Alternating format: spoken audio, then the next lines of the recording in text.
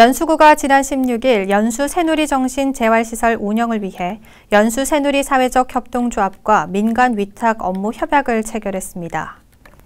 연수 새누리 사회적 협동조합은 민간 운영 능력과 전문성 등에 대한 민간 위탁 적격자 심사를 통해 수탁 기관으로 선정됐으며 내년부터 2년간 시설을 운영하게 됩니다. 연수 새누리 협동조합은 주간 재활 프로그램과 직업 재활 프로그램 운영, 사회복귀와 취업 지원 등 알코올 중독자의 회복과 성공적인 사회 복귀를 위한 서비스를 제공할 예정입니다.